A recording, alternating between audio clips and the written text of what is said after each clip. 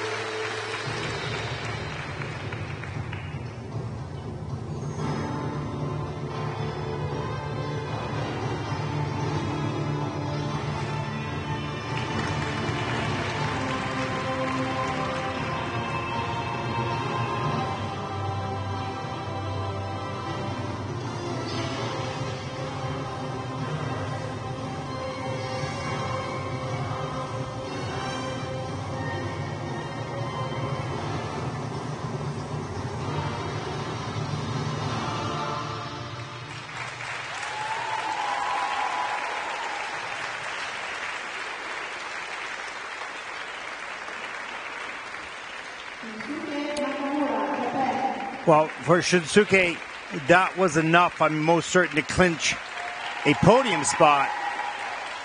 And he had to really work his way through those technical elements, of which we'll see. I wouldn't say that was the most engaging program I've ever seen from a Japanese skater. Pretty workmanlike. Get the elements done. Put the points in the bag. Get yourself to Torino. Here we look at the quad toe.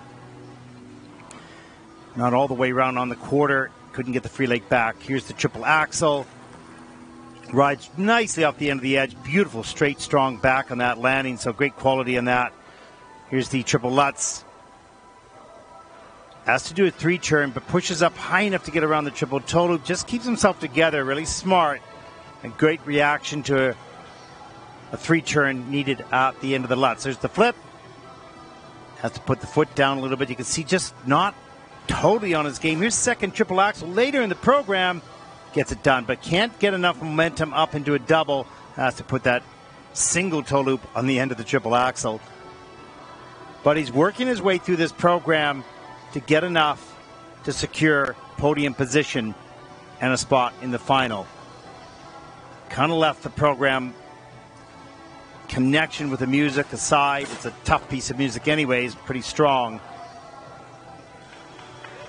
But he's a really a good skater, smart on his feet, did what he needed to do to get what he wanted from a point perspective, as I'm most certain he'll move forward into the Junior Grand Prix final. We'll take a look at the scores 141.97, his personal best. He won't beat that here right now, but we'll look at a 137.40. That's first in the free program. Wasn't sure what to do there, but he takes the lead with a 211.01 score with one skater to come. He's in the final. Mission accomplished, but still lots of work to do.